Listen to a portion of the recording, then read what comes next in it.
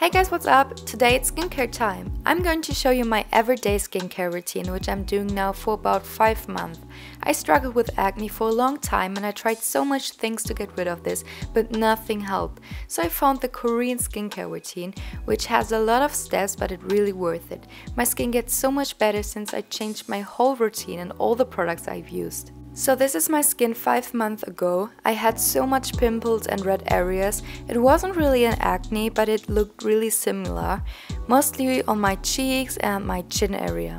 This is a picture of my skin 3 months later, so 2 months ago, and as you can see it is so much better. My skin wasn't really red anymore, but I still had a lot of pimples on my cheeks and also on my forehead.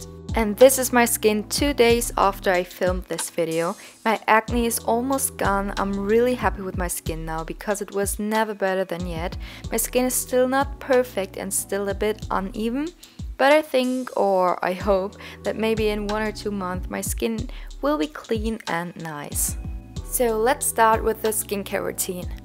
In Korean skincare, the cleansing oil or an oily balm is the first and one of the most important steps for a perfect cleansing result. This first oil-based cleansing step completely removes makeup and prepares the skin perfectly for the next cleansing step. I'm using the Clean It Zero Cleansing Balm. It refines the skin texture and provides the skin with moisture. It gently melts into the skin to remove even waterproof makeup and impurities while maintaining the skin's natural balance, keeping the skin's oil layer in perfect balance and preventing dehydration.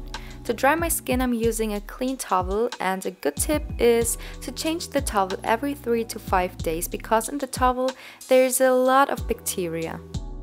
The second step is a water-based cleanser. It is really important that you use a water-based cleanser after you used an oil-based cleanser because otherwise the oil will be stuck in your pores and we want to double cleanse our skin.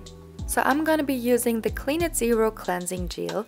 It doesn't matter whether you use a foam or a gel cleanser, it just depends on which you like more. On contact with water, the gel transforms from a gel cream into a rich and nourishing foam that cleanses the skin effectively and gently. The product also keeps the skin's natural pH value in balance and I'm removing the foam just with water and drying my skin with a towel. So now let's move on to an exfoliator or peeling. The peeling is a really important step in Korean skincare. I'm using the peeling solution from The Ordinary and let it dry for not more than 10 minutes. The peeling removes dead skin and it refines the skin texture. After the peeling, other products can get better in your skin and it is really important that you use a peeling only one or two times in a week because the peeling is a fruit acid peeling. It is also really important to use sunscreen every morning.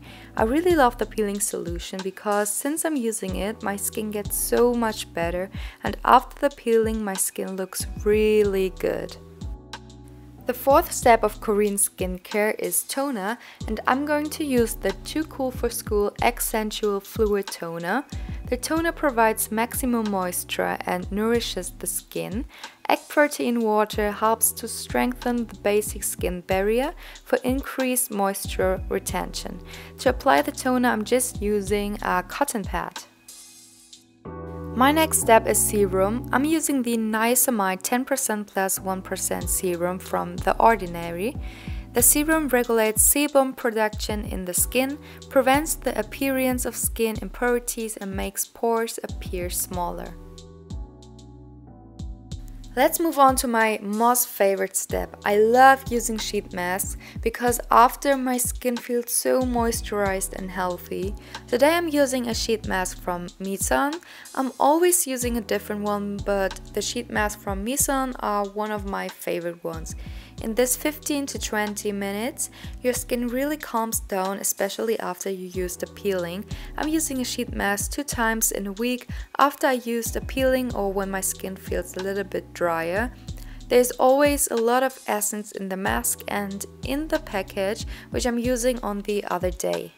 After that I'm using a moisturizer and I found a really good one which helped my skin getting a lot of moisture and this is the Mizon All-in-One Snail Repair Cream. The skin is supported in its regeneration, provided with moisture and intensively nourish it. Also color irregularities and oily skin is regulated through this cream.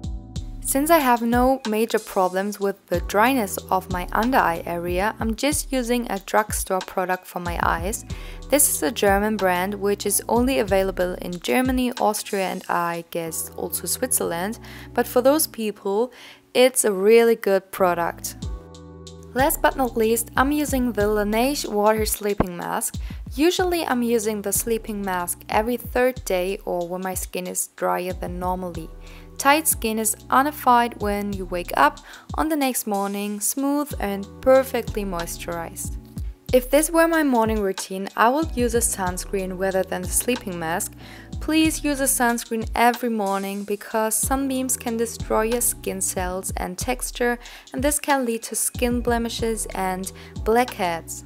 I know my skin isn't perfect and super clean, but I'm really happy with my skin now because 5 months ago my skin looked awful and now it's much better and I hope maybe in 1 or 2 months my skin is even more better. Maybe I will do a second skincare routine when my skin looks better because I want to test a few new more products for my skin. So that's it for this video, I hope you liked it. If you have some tips, let me know them in the comments below and I hope we will see us again in my next video. Thanks for watching and bye!